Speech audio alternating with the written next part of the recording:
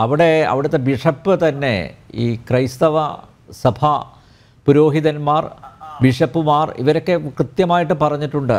ഇത് വംശീയ സംഘർഷമാണ്. അതിനെ ഒരു കാരണവശാലും വർഗീയമായി കാണരുത്.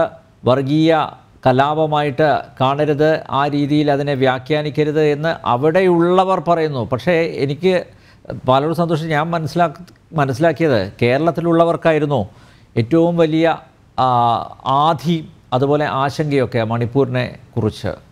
അതെന്താണ് കാര്യം എന്ന് വെച്ചാൽ വളരെ വ്യക്തമല്ലേ? ഈ ന്യൂനപക്ഷങ്ങൾ ഇപ്പോൾ കേരളത്തിലെ മുസ്ലിം ന്യൂനപക്ഷങ്ങളും ക്രിസ്ത്യൻ ന്യൂനപക്ഷങ്ങളും ഇത് മനസ്സിലാക്കണം. ഞങ്ങൾ എന്തിനു വേണ്ടി നിൽക്കുന്നു? ഒരു സ്ഥലത്ത് രണ്ട് സമുദായങ്ങൾ തമ്മിലുണ്ടായ സ്പർദ്ധയെ അത് മറ്റൊരു കലാപമാക്കി മാറ്റി അത് കേന്ദ്ര ഗവൺമെന്റിന്റെ പിടിപ്പ് കേടുകൊണ്ട് അവിടെ കലാപമുണ്ടാക്കി എന്ന് പറയുന്ന ഒരു സന്ദേശം കേരളത്തിൽ എഫക്റ്റ് ചെയ്തിട്ടുണ്ട് തെരഞ്ഞെടുപ്പിൽ. ന്യൂനപക്ഷങ്ങൾ വിരുദ്ധരാണ് എന്ന് കേന്ദ്ര ഗവൺമെന്റ് ന്യൂനപക്ഷ വിരുദ്ധരാണെന്ന് ഇവരുടെ പ്ര- പ്ര- പ്രചരണം. എനിക്ക് രസകരമായി തോന്നിയത് എന്താണെന്ന് വെച്ചാൽ ഇപ്പോൾ സലീം മടവൂർ പറഞ്ഞു. ഞാൻ ആദ്യം പറഞ്ഞ മറുപടി അല്ലേ ഇപ്പം സലീം പറഞ്ഞു ഇപ്പോൾ പറഞ്ഞു രാഹുൽ ഗാന്ധി പറഞ്ഞത് ഞങ്ങളെ തന്നെയാണ് എന്ന് പ്രധാനമന്ത്രിക്കും മറ്റുള്ളവർക്കും തോന്നിയെന്നാണ് അതെന്തുകൊണ്ട് നിങ്ങൾ ആദ്യം പറഞ്ഞില്ല? എന്നാൽ പ്രധാനമന്ത്രിയും ആഭ്യന്തര വകുപ്പ് മന്ത്രിയും ഇന്ത്യയിലെ ഹിന്ദുക്കളെ ഹിന്ദു എന്ന് പറയുന്ന സമൂഹത്തെ മുഴുവൻ ആക്ഷേപിക്കുന്ന പ്രതിപക്ഷ നേതാവിനെതിരെ പരാമർശം നടത്തിയില്ല എങ്കിൽ അത് ശരിയാണോ?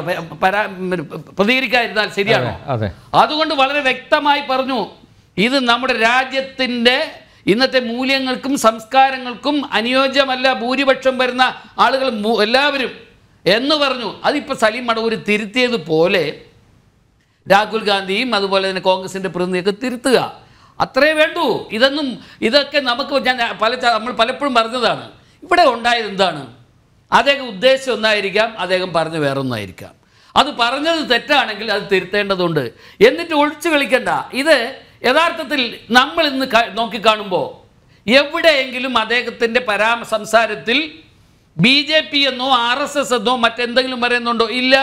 ഹിന്ദു അപകടം അപകടം അപകടം എന്നുള്ള രീതിയിലാണ് പറഞ്ഞത്.